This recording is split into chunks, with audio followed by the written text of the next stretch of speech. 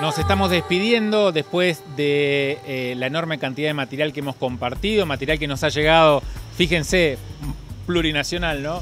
Desde eh, Honduras, material que ha llegado también desde la caravana que ha llegado a México, también material que ha llegado desde Suiza, desde Ginebra y obviamente las repercusiones que hemos tenido del enorme encuentro número 33 que se hizo entre Leo, el Encuentro Nacional de las Mujeres, encuentro plurinacional.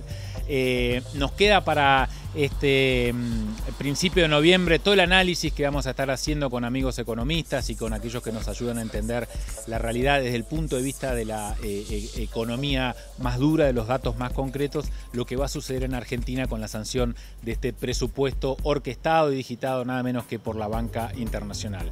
Y una gran pregunta que nos queda, ¿no? ¿Qué va a suceder precisamente con eh, la tremenda situación social en la cual Argentina empieza a deslizarse casi de una manera como la clase media más lo necesita, ¿no? De costado.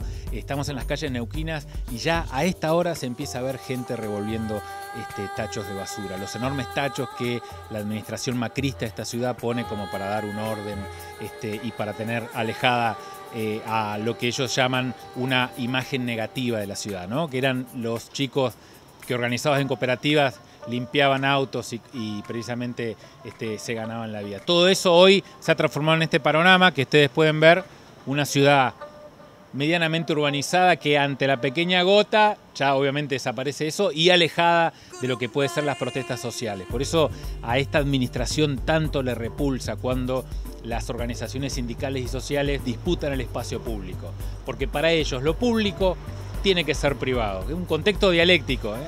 pero bueno, tiene mucho que ver con una batalla cultural que también hay que dar frente al neoliberalismo. Hasta la semana que viene acá por nuestro canal con más Cartago.